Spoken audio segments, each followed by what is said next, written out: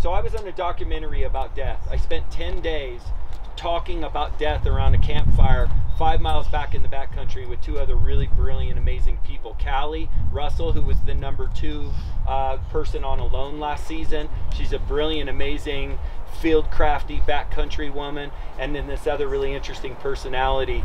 And, and we got to talk about death.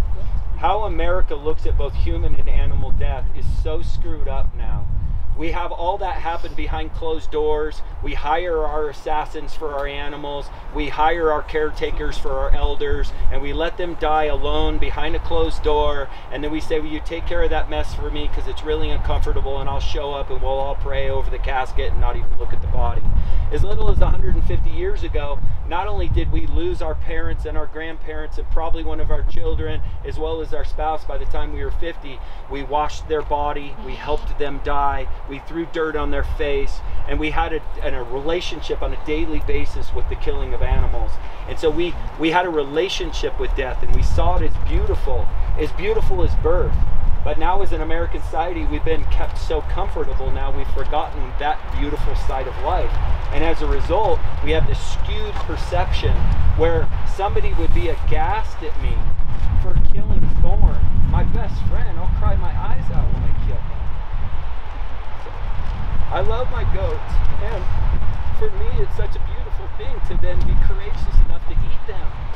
It's a beautiful thing. It's not, it does. I don't. I don't lack integrity.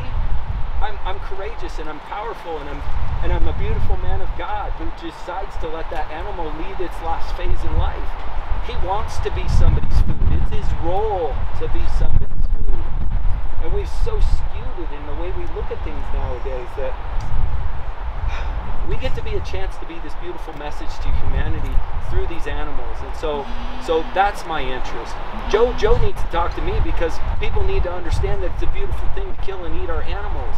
It's not this thing that's a cellophane wrapper experience that we have nowadays.